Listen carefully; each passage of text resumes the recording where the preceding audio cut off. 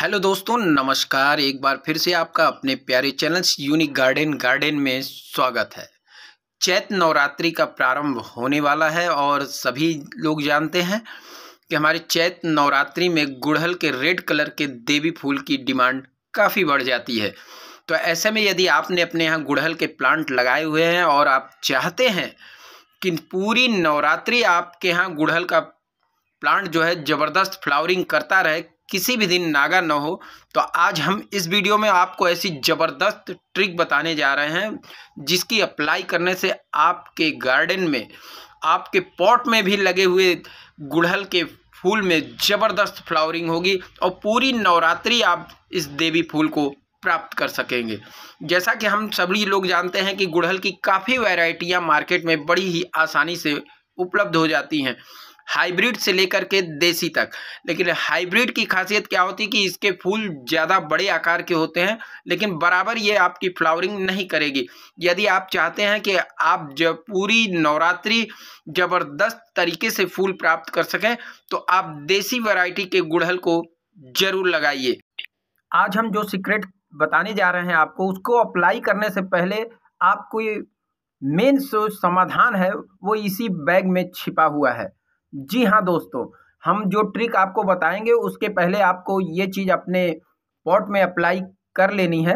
और जब आप इस चीज़ को अपने पॉट में अप्लाई कर लेंगे तो आप देखेंगे कि आपके यहाँ ज़बरदस्त तरीके से रिज़ल्ट सामने आने वाला है। वो ट्रिक मैं लास्ट में बताऊँगा आपको।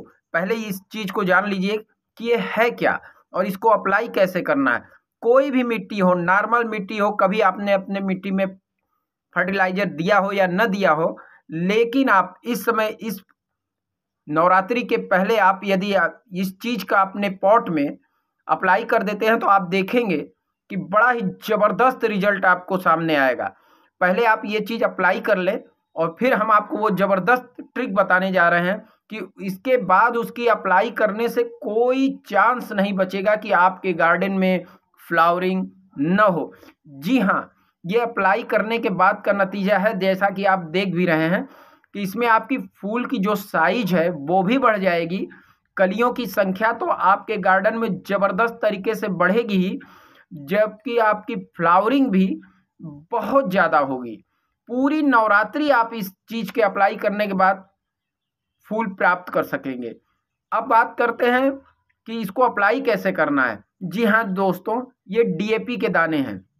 आपने अपने पॉट में कभी भी फर्टिलाइज़र दिया हो या न दिया हो, लेकिन इस चीज़ को आप नवरात्रि से पहले अप्लाई कर देंगे।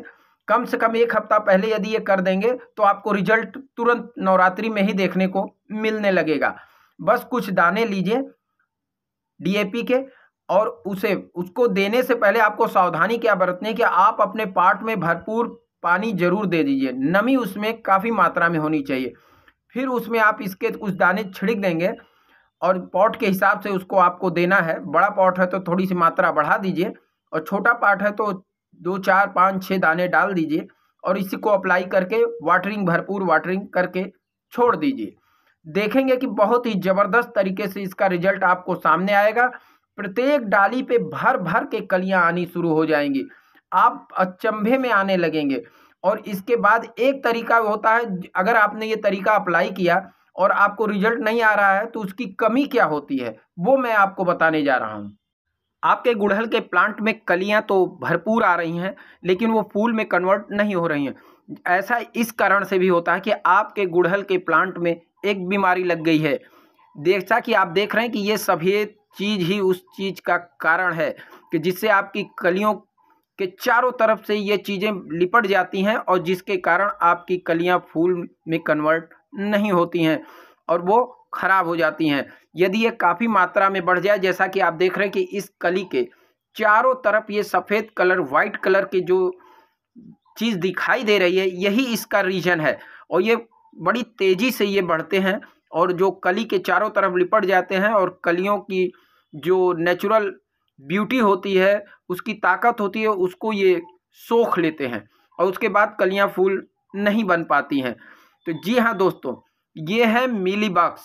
आमतौर पर सभी देसी गुड़हल के प्लांट में हो या हाइब्रिड गुड़हल का प्लांट हो, सभी में ये चीज़ें देखने को आती हैं। यदि आप शुरुआती दौर में इनका रोकथाम नहीं करते हैं तो ये बड़ी तेज़ी से आपके अन्य पॉटों में भी पहुँच जाएँगी और गुड़हल के प्लांट में विशेष रूप से ये लग जाती हैं और इस मौसम में तो बहुत तेज़ी से इनका प्रकोप फैलने लगता है। तो शुरुआती दौर में आप करिए क्या? कोई बॉटल ले लीजिए, स्प्रे बॉटल, उसमें पानी भर के बहुत तेज़ी से फोर्स के साथ इस पर अप्लाई करेंगे। तो ये सारे कीड़े, चिपचिपे आकार के जो ये कीड़े वाइट कलर के हैं, वो आपके प्लांट में से झड़ करके नीचे गिरने शुरू हो जाएँगे और आपका प्लांट साफ़ हो जाएगा। और दूसरी यदि आप ऐसा कर दीजिए, फिर उसके बाद एक मैजिक नाम से एक जो कीटनाशक दवा भी आती है उसको आप अप्लाई करिए अपने यहाँ। वो एक बार उसका उपयोग करेंगे तो फिर उसके बाद दोबारा उस प्लांट पे इस तरह के मिली बक्स आपको दिखाई नहीं देंगे और आपकी सारी कलियाँ जो है, फूल में कन्वर्ट होने लगेंगी। और यदि आप घरेलू नुस्खा आजमाना चाहते हैं तो आप एक शैम्पू जो मार्केट में पाँच रुपये एक रुपये का मिल जाता है, उसको ले आइए, उसको पानी में घोल लीजिए। घोल करके स्प्रे बॉटल में डाल करके आप इस पर अप्लाई करेंगे तो उसका भी बहुत ही तगड़ा रिज़ल्ट आपको देखने को मिलेगा और मिलीबक्स से आपको छुटकारा मिल जाएगा। ये हमारा हाइब्रिड गुड़हल का प्लांट है। जैसा कि आप देख रहे हैं, इसके फूल की साइज़ काफ़ी बड़ी है। हमने जो तरीका आपको बतलाया, वही तरीका हमने इसमें भी इस्तेमाल किया। काफ़ी दिनों से इसमें कोई भी फूल और कलियाँ नहीं आ रही थी, लेकिन जैसे ही हमने इसमें डीएपी का इस्तेमाल किया कि बहुत ही आश्चर्यजनक परिणाम सामने आने शुरू हो गए। प्रत्येक डाल पे इसमें दो दो तीन तीन कलियाँ भी बनने लगी और धीरे धीरे ये जो है, फूल में भी कन्वर्ट होने लगे। जैसा कि आप देख रहे हैं कि इसके जो हमारे पहले फूल की जो साइज़ थी, बहुत ही छोटी होती थी किसी रीजन से, लेकिन जब से हमने उसको अप्लाई किया, तब से हमारी फूल की साइज़ भी बढ़ गई और इसमें कलियाँ भी काफ़ी मात्रा में आने लगी। चलिए अब मैं वो तरीका भी आपको बतलाने जा रहा हूँ। कि जिसके अप्लाई करने से आपके गार्डन में, आपके गुड़हल के प्लांट में कोई बीमारी तो नहीं लगेगी। सफ़ेद रंग के जो मच्छर होते हैं, वो भी आपके गुड़हल के प्लांट में जाले वगैरह बना लेते हैं तो उनसे भी आपके प्लांट में नुकसान होता है। तो जैसा कि आप देख रहे हैं कि हमने अमूमन सभी घरों में ये मच्छर को मारने वाला जो ये हीट है, ये आमतौर पर सभी घरों में मिल जाएगा। इस समय तो काफ़ी मात्रा में डेंगू वगैरह से भी काफ़ी बचाव होता है। तो इसको भी आप जो है अपने प्लांट में करीब पंद्रह दिन के अंतर पे आप इसको अप्लाई कर देंगे। तो पहली बात तो उसमें डेंगू सेंगू के जो मच्छर जो है नमी से आकर के आपके प्लांट में बैठते हैं, वो नहीं होंगे, गायब हो जाएँगे, उसके लार्वा भी ख़त्म हो जाएँगे। और साथ ही इसमें जो मकड़ियाँ वगैरह जाला बनाती हैं, इसकी महक और इसके केमिकल की वजह से, वो भी उसमें नहीं आएँगी और आपका प्लांट जो है भरपूर फ्लावरिंग करेगा। एक बार आप हमारी इस वीडियो में बताई गई जानकारी को अपने यहाँ ज़रूर अपनाइएगा, उसका रिज़ल्ट देखिएगा और उसके बाद आपके प्लांट में जो रिज़ल्ट आता है, तब आप उसके बारे में कमेंट करके ज़रूर बतलाइएगा। क्योंकि आप जब कमेंट करते हैं तो उससे हमारा हौसला भी बढ़ता है और हमको लगता है कि हमारी बताई गई बातों से किसी को कुछ भी फ़ायदा हो रहा हो तो यह अच्छा भी लगता है। तो आप यदि हमारे चैनल्स पे नए हैं तो हमारे चैनल्स को सब्सक्राइब ज़रूर कर लीजिएगा, बेल आइकन को ज़रूर पुश कर दीजिएगा, ताकि हमारी नई आने वाली वीडियो की जानकारी आप तक पहुँच सके। जैसा कि आप देख रहे हैं कि हमारे इस प्लांट में भी हमने इसको अप्लाई किया था सेम वही चीज़। यहाँ मैं कोई एक्सपर्ट नहीं हूँ, लेकिन अपने अनुभव के द्वारा हम जो भी अपने यहाँ गार्डन में अप्लाई करते हैं, और सेम डिटो रिज़ल्ट आता है, वही हम आपसे शेयर करते हैं। तो आशा करते हैं कि हमारा ये वीडियो आपको पसंद आया होगा। धन्यवाद।